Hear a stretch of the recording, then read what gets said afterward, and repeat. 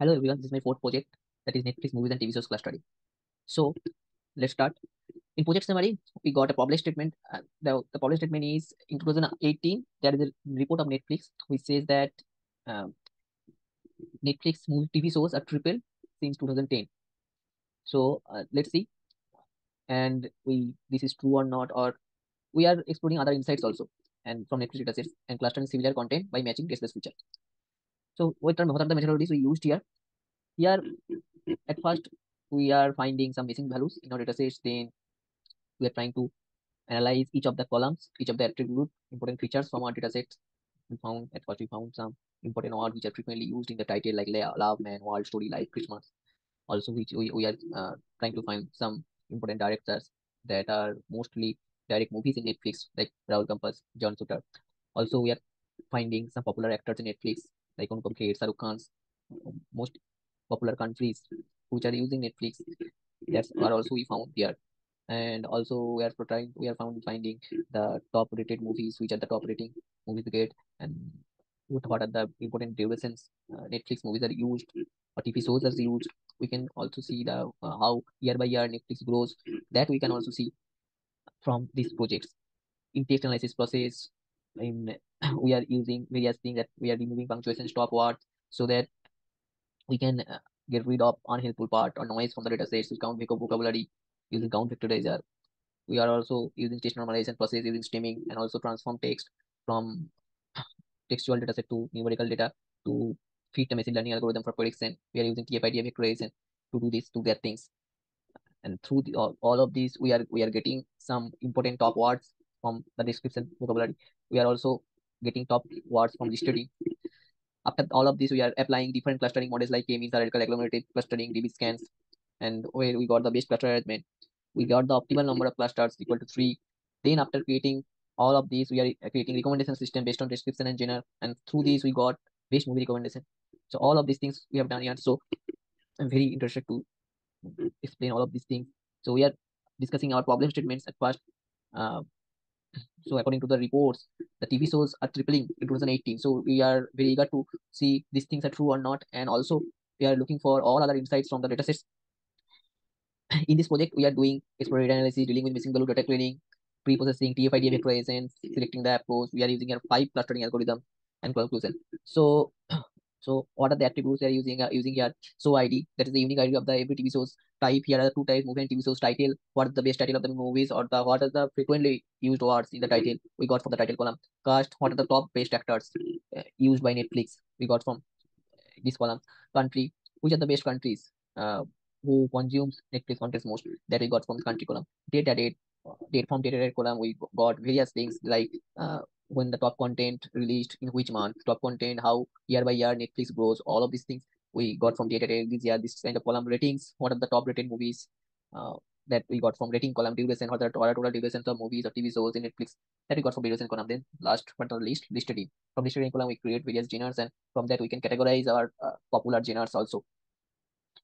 So at first we import our libraries, then load our dataset, then we look at dataset, and we can find that in our dataset there are 7,787 rows and 12 columns. From that, one is integer type and 11 is object type column. We can see that there are no duplicate values in the dataset, but there are missing values in the dataset. There are 2,389 null values in director, 718 in cast, 507 in country, 10 in data column, and 7 in rating column. So let's visualize our missing value. We can see the same things that how missing values are distributed in various columns. And there are also unique values in datasets. So uh, for variables, yeah, I am discussing about variable earlier. So ID, type, title, director, cast, country, date, release, rating, duration, distribution, description, all of these are very important variable and it is used for exploratory data analysis process in next part. So now we are straight moving to our EDA part. At first column is type column. So from type column, what we get here is are the two types that is movie and TV shows. So we can see uh, movie counts are five more than TV shows, 5,372 movies and 2,398 TV shows. If we visualize this thing, that movies in Netflix uh, are 69%, 31% are TV shows. If we move on to the next column, that is title column. From title column, what we get? We get that love, man, all story, life. It is a very com common word in titles. And there are Christmas is also very common word in title. So it defines that maybe most of the movies or TV shows release in Christmas. That's why Christmas is very common words in title. We can see this. Next, we move on to the director column. For director column, we what we get for director column, we get that Ra- Rahul Campos, Jan Suter, Marcus Raboy, Jay Karas. These are the most popular director in Netflix. Me as Netflix is US based company, so maybe that's why uh, they are the most popular director in Netflix. In cast column, then we remove the null value of the directors also. Cast column in cast columns, remove the null value of the cast. Then we found the top 10 actors on Netflix, or top 10 cast in Netflix. We found Anupam Kher, Shahrukh Khan are the top cast in Netflix, followed by Naseeruddin Shah, Puri, Akshay Kumar. Anupam Kher movie count is 40, Shahrukh Khan movie count is 35. Nobody is nearer to them in terms of movie count and Netflix. It defines the Netflix papers, both of them very much in their movies. Next, five country country column. In country column, we found the top 10 countries in Netflix. United States is the top country which consumes Netflix content most. India comes in second, followed by UK and Canada. Netflix is a US company, so it is natural that US uh, comes first uh, to watch Netflix. Data, next is data column. From data column, we create uh, year, month, date, and then we can see that 2019 year by year movie count is increasing. That it defines the sustainable growth of Netflix also. 2018 has the highest movie count in Netflix, followed by 2017, 16, 15.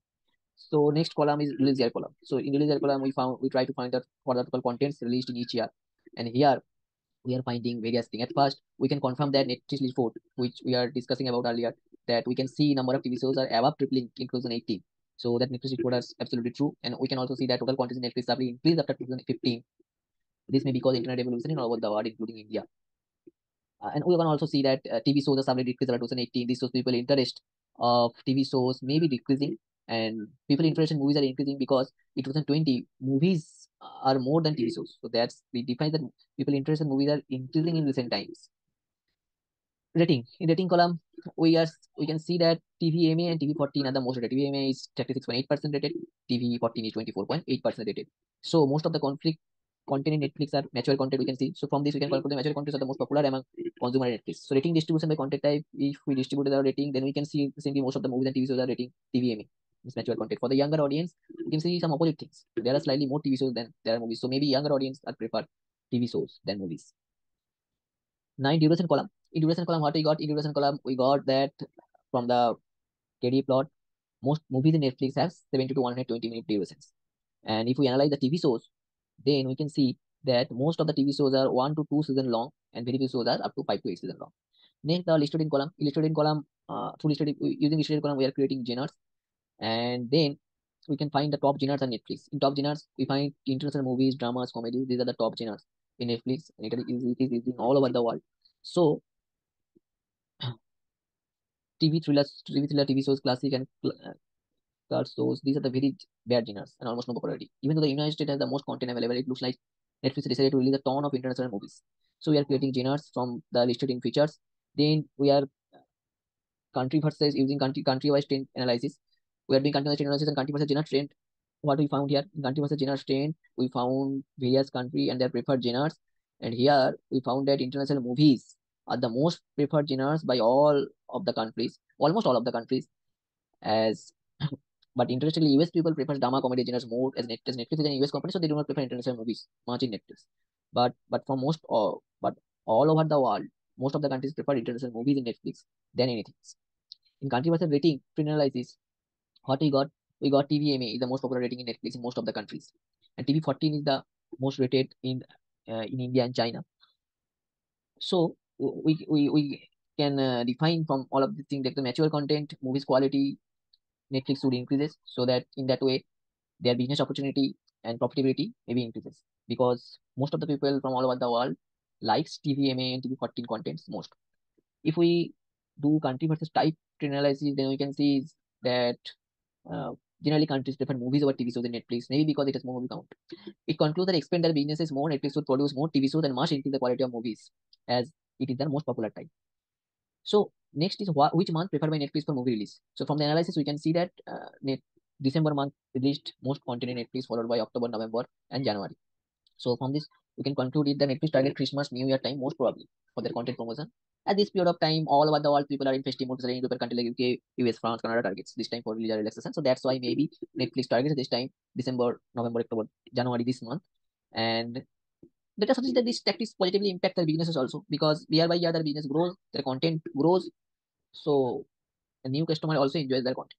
Now from EDA we move on to our pre-processing of the data and NLP before clustering.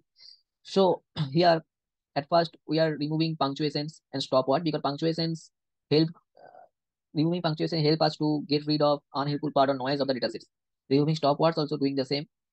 And so after removing punctuation and removing stopwords, we are using count vocabulary items uh, using count vectorizer. So count vocabulary item also is very important step of NLP before uh, text normalization process of stemming. We call it extract important most frequent uh, used words from particular column. Here we use description uh, uh, and from description using count vocabulary using count vectorizer we are creating dictionary.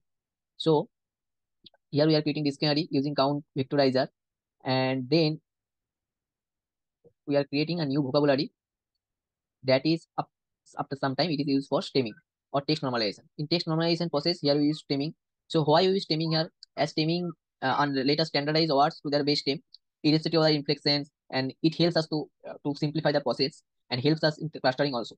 So to get best result from text normalization, we use stemming here because stemming is the most popular process and it simplifies the process easily. That's why we use stemming.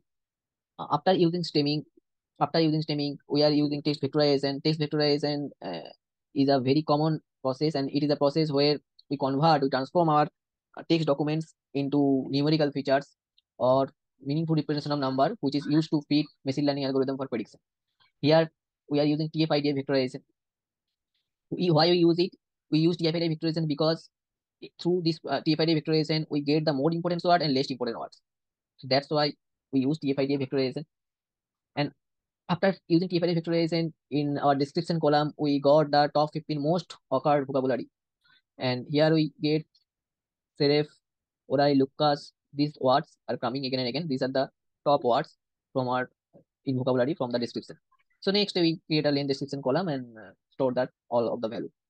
So after that we are using same process in our listed in features. We removing punctuations so that we get rid of unused word or noise data set. Then we count vocabulary item using count vectorizer process and here our column is listed. Next we are create vocabulary then use stemming for text normalization process.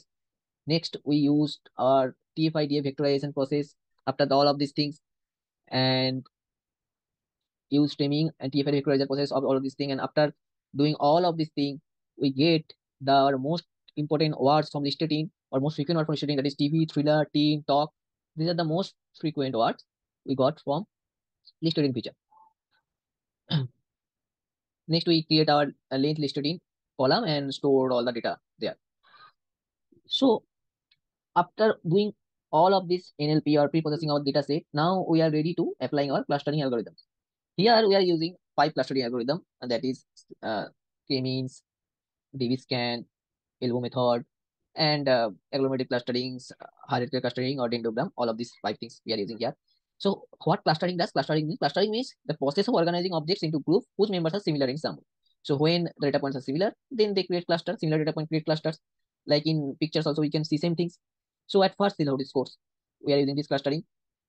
and here you can see that we get the base score in every cluster for n cluster to 2 n cluster to 3. We are getting base score. All of the cluster uh, and silhouette score range is between minus 1 to 1. That means score 1 denotes the best cluster base meaning that data point is very compact within a cluster that is it denotes the base value. If that uh, value is minus one then it denotes the worst value. If value near zero that denotes the overlapping of clusters. So here you can see all of the data uh, points for all the cluster for all in value silhouette score is silhouette coefficient is good. So uh, now we have to find that what are the base clusters and we can find that in in our visualization part also that for every value of n silhouette coefficient is good and so we are moving to if elbow method. In elbow method, it is very popular method because it determines the optimal value of k and means uh, it actually it is here we use the sum of square distance. We choose an ideal value of k based on distance between data points and their assign cluster. So as you can see after k equal to 3 car gets linear. It means k equal to 3 is the best cluster. So here we can found that our number of cluster equal to 3. As n equal to 3 also, we get the best silhouette score and in elbow method, also after k equal to 3, we see that our curve gets linear. So from that, we can find that k equal to 3 is our cluster. So we find that our number of clusters equal to 3. So now we are using 3 clusters in our data set. And then we are using our DB-scan method. In DB-scan method, are using for finding the shape and size of the large amount data and identify noise and outliers. Here we can identify that the purple points are noise of the dataset. Noise of the dataset means the data points that have no pattern and not accepted by any cluster that are called noise of the dataset. In fourth and fifth also, we are using uh, dendrogram and agglomerative clustering algorithm. So in dendrogram also uh, is branching diagram. It is a branching diagram that represents the relationship of similarity among group of entities. So here you can see the distance. You can see the distance between uh, height of the joint will be the distance between those clusters. So this is the height of the joint and this height of the joint is the distance between those clusters. So through dendrogram, we can identify these things also. In agglomerative clustering is also a most common type of hierarchical clustering where you use group of objects of similar entities. So this is also the visualization of our agglomerative clustering. So this is our five clustering type and we found that our we, we, we got three cluster based three clusters through this uh, all applying all clustering algorithms. So now we are moving to our recommendation system. So here uh, at first also we remove our stop words, then we use TF-IDF matrix by fitting and transforming the data. Here we use the description uh, column data and then we are finding TF-IDF matrix shape and we are now just finding TF-IDF score. Then using count vectorizer, we convert a collection of test document to matrix of token counts so that we can uh, tokenize use tokenization process. And you next we are do TF-IDF transform and transfer a count matrix to normalize TF or TF-IDF representation. After doing this, after doing this, we are trying to find our IDF weights. Lower the IDF value of a word, the less unique it is to any particular document. So next, all after doing all of this thing, uh, we are calculate going to calculate cosine similarity by scale and pairwise package. Cosine similarity, why it is important? Because it is important because through this process, we are trying to find the similarity of that particular uh, movies. If we're going to watch any movies, then what are the similar movies we found through this process? So how it is calculated? Because it is Euclidean distance Pearson correlation cosine similarity. And here cosine of the angle between two vectors projected in a multidimensional space to find out how similar the documents are irrespective of the size. So here the smaller the angle, the higher the cosine similarity will be. Now we are trying to visualize all of these things that uh, here also we are trying to create recommendation model using cosine similarity and at first our first movies is Indiana Jones and the Last Crusade. Here you can see our top recommended movies. These are uh, the value is 0.2446, 2.2134. So the more the value is nearer to 1, that is most recommended. And for Avengers Infinity War, you can see the same things. So you can see that for Avengers also, the first movie, Avengers is Marvel Production movies, and the first movies that top recommended 0.2080, which similarity value, it is also Marvel Production movies. So that's why maybe it is highly recommended. in next in, in next thing, we use genres for recommendation, and here also we use same process like previous one. Here also, uh, if we give the Indiana Jones and Last Crusade movies, we can see that we get top two recommended movies with similarity 1.00. That means it is highly recommended. And we, we can see that these top two movies are also from Indiana Jones series. So maybe that's why it is highly recommended. And for the Avengers Infinity War movies, we can see our top movies also. And here also the first movies is uh, from Marvel production movies. So both of these recommendation systems suggest the best movies in Netflix according to our recent interest. So it will definitely increase watch time, content and hugely positively impacts Netflix businesses with more profitability and business opportunity. So what are the future scope of this project? So we can have done more research on recommendation system. We can integrate Netflix dataset with our and present more insightful and clusters. We can do more cross cluster analysis and we can get more insight and analysis from the data datasets. So what are the conclusion of this project. So from this project, we got uh, 2,389 billion null value, 718 car in cost, 5,507 country, 10 in data, 700 column. We can get all of these null values. After analyzing columns, we get 69% movies uh, and 31% TV, TV shows. Uh, these are, are the other type distribution and oh, we define that our movies on Netflix are, have high demand among people in recent times, so Netflix should focus more on good quality movies. In title we got love, man, world story, life, Christmas. These are the most frequent words we found from in title. Maybe most of the movies and TV shows released in Christmas. That's why Christmas is in title frequently. After analyzing director column, we got Rahul Kempa Jansrad is the most uh, best director, and they got the most of the movies in Netflix. Anupam Kher, Shahrukh Khan, these are the most popular actor in Netflix. We found this also. From country column, we found United States uh, stand out top in Netflix in American company. India comes in second. The after another data column, we got a 2018 as the highest movie counts in Netflix, followed by 2017, 16, 15, etc. And we can also uh, find another thing that um, that 2010 report, 2018 report that in 2018 movie TV shows are triple. That reports are also true. We found uh, from our analysis. We can see total contents sharply released after 2015. It may be because internet revolution uh, in India and all over the world. In 2020, movie counts are higher than TV shows. TV shows content has suddenly decreased around 2018. This shows people interest towards movie more in Netflix in recent times. After another rating column, we got TVMA 2014 is the most rated in all over the world, and TV 17 rating uh, rated rating is more in TV shows. So maybe maybe youngest people like TV shows more than movies. Uh, from duration column, you got 70 to 120 minutes is the minute duration movies are based in Netflix, and one to two season TV shows are most in Netflix also. From listed column, we create genres and, and from genres, after analyzing genre, we got international movies, dramas, comedies are top genres and international movies are liked from all over the world in Netflix. From country versus genre trends, we are seeing the same things from all over the world. International movies, genres are very popular, mostly all over the world. They like it. And US people like dramas, comedies, these genres uh, contents mostly. From versus rating trend, we found TVMA TV14 is the best uh, best rated TVMA, so mature content of Netflix are popular and liked from all over the world. We can see that from analysis. From versus type, we found that people are preferred movies over TV shows mostly from all over the world. And we can see this December month release most of the content in Netflix, maybe because of the Christmas uh, or New Year time in European countries. They are they are in festive mood. Maybe that's why December most of the content in Netflix. So in text analysis and data preprocessing process, we remove a punctuation stop word at first and to remove to reduce the noise of the dataset and we count vocabulary item using count vectorizer which create dictionary of the most frequently used important words. Uh, to normalize dataset, we use stemming to, to text uh, text vectorization process. We transform text into meaningful representation of numbers and which is further used in machine learning algorithm for prediction. Here we use also TF-IDF vectorization as it contains information on the most important words and the less important ones as well. Say if I look at these words are top in vocabulary description, top vocabulary uh, and uh, to teen talk, these are top vocabulary present listed in data. We can find this, these things.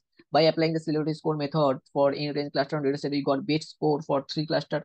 And also by using elbow method after k equal to three, curve gets linear, it means k equal to three will be the best cluster. So from elbow method or similarity score method, we can find that k three cluster number is equal to three. It is the best. Uh, from DBSCAN clustering, we found that uh, we can find the shape and size of the large amount of data, and we can uh, identify noise of the data also. So applying different cluster k-means hierarchy agglomerated clustering DBSCAN, uh, we dendrogram, we got the best clustering arrangement. And uh, in recommended system, uh, we based on description and genre, we got best movies according to our recent interest. Uh, for example, if we, if we if we take Indiana Jones and Last Crusade movies, first two results are highly recommended, and those are also Indiana Jones series movies. So it will definitely increase watch time, content impact Netflix businesses with more profitability, business opportunities. So this is my project. Uh, thank you for giving me this opportunity.